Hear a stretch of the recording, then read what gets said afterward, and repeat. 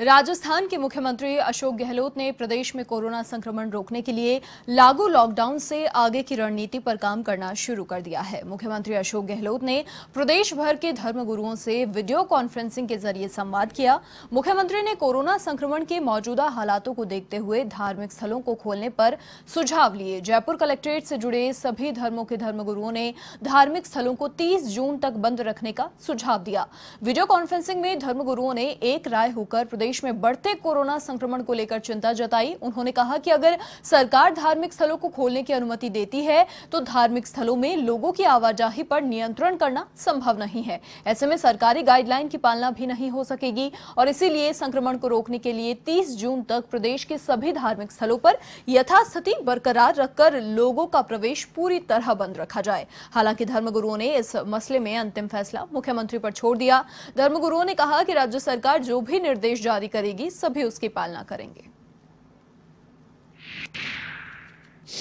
जो परिस्थितियाँ बनी हुई हैं, और जैसा अभी पिछले दो चार दिनों में जो स्थितियाँ, संक्रामक स्थितियाँ होकर के जो लोग संक्रमण ग्रसित हुए, उसको देखते हुए शायद ये मीटिंग इसीलिए आहूत की गई है वीसी इसीलिए आहूत की गई।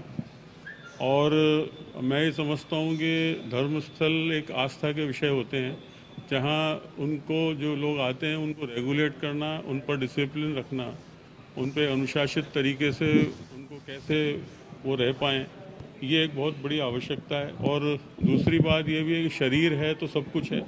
शरीर नहीं है तो कोई सा भी धर्म नहीं है। सबकी राय एक ही थी क्योंकि कोई बड़ा मंदिर है, कोई बड़ी मस्जिद है, कोई छोटा मंदिर है, कोई छोटी मस्जिद है सोशल डिस्टेंसिंग सब जगह नहीं हो सकती। उसके और दूसरी बात यह है कि महामारी अभी प्रकोप में चल रही है तो सबका एक ही सुझाव था कि लॉकडाउन मंदिरों का और शायद जो निर्णय होगा, शाम तक बताएँगे और आगे उस पर जो कार्रवाई होगी, कलेक्टर की कमेटी क्या बनती है, कैसे आगे मंदिर खुलने की प्रोग्रेस क्या होती है, ये स्टेप बाय स्टेप सारी चीज़ होगी। अभी तक तो तीस तारीख तक का नहीं हुआ सोशल डिस्टेंसिंग का पालन जो है वो कठोरता से किया जा सके। इसलिए अभी इसको लॉकडाउन को जो है आगे थोड़ा बढ़ाना चाहिए। और दूसरा सुझाव ये दिया गया कि इसके ज़िले वाइज कमेटी बनानी चाहिए कलेक्टर के नेतृत्व में, ताकि अलग अलग जगह की अलग अलग मंदिरों की अलग अलग मस्जिदों की जो सिचुएशन है वो अलग अलग है। किसी जगह पर जगह ज़्यादा है, किसी जगह पर कम है, और अलग अलग जगह पर कहीं श्रद्धालु भी कम आते हैं।